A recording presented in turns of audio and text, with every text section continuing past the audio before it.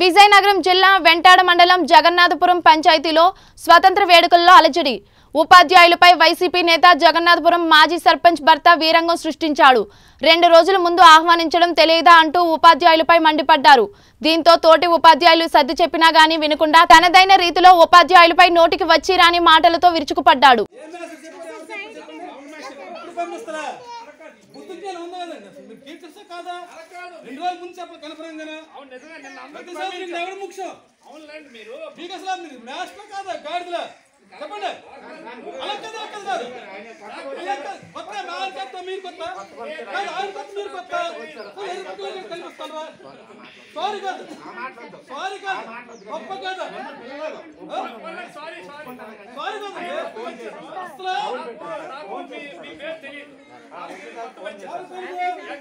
ఎంతవరకు ఇప్పుడు వచ్చి మూడు మాసం కొత్తగా వచ్చారు.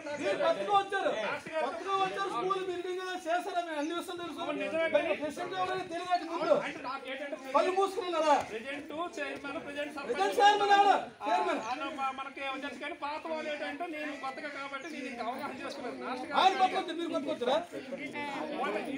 ఫస్ట్ టైం ఇలా జరుగుతాయి ఫస్ట్ టైం ఇలా జరుగుతాయి ఒకటోసారి ఇలా జరగవు. ఫస్ట్ టైం కాదండి. ఫస్ట్ టైం ఫస్ట్ టైం ఇలాంటి జరుగుతాయి? అది మీరే అనుకోకండి మొదటిసారి కదా? ఒకసారి కాదు. మొదటి ఎవరు అసలు ఒకసారికి ఇచ్చిన అంతే మొదటిసారి ఇలా జరుగుతాయి తప్పు ఒకసారి తెలియదు కదండి. ఇవాళ చైర్ పర్సన్ హీరో ఆడియో కాదు గుడ్ అది మొదటిసారి చిన్న చిన్న జరుగుతున్నాయి. లక్ష్మీపుర గ్రామంలోను అదే మండల పరిషత్ ప్రాథమిక పాఠశాలలో టీచర్గా పనిచేస్తాను సార్.